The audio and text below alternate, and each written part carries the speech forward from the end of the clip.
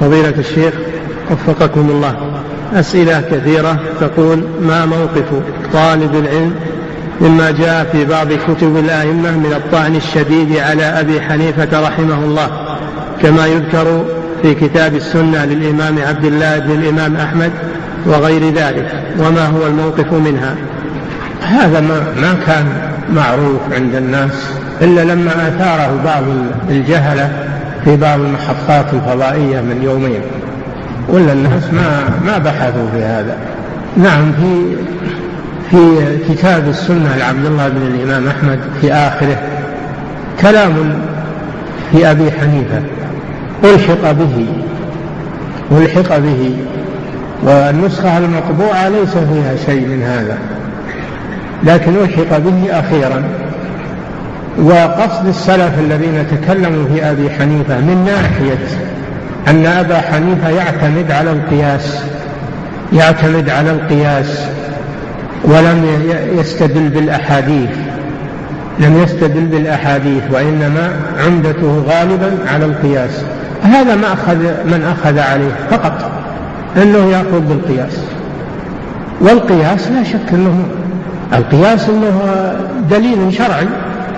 لأن أصول الأدلة الكتاب والسنة والإجماع والقياس.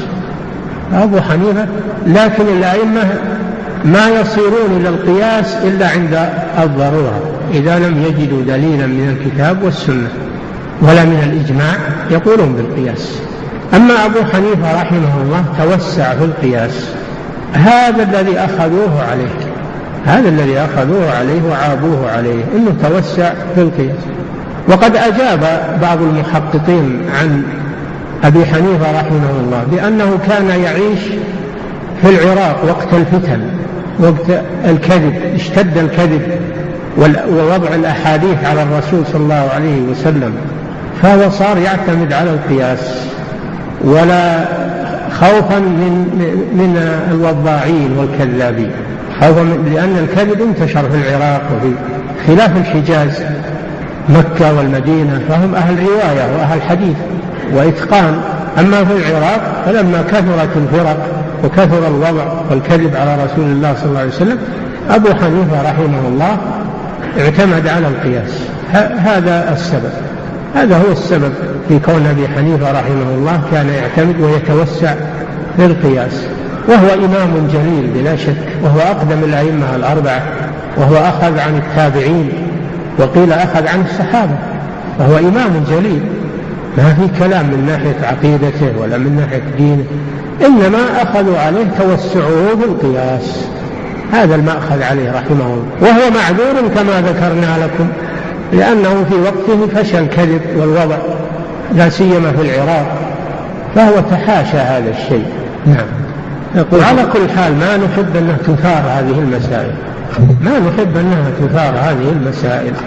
وكان هذا هذا الجزء من الكتاب محذوفا في الطبعة التي اعتمدها العلماء في وقت الشيخ عبد الله بن حسن رئيس القضاة في مكة.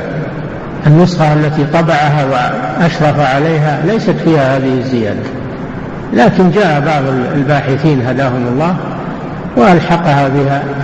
فأحدثت هذا التشكك وهذا وعلى كل حال نحن نحب أبا حنيفة وهو إمام لنا لأنه من أئمة أهل السنة والجماعة هو إمام لنا من أئمتنا ولا نطعن فيه أبدا. نعم.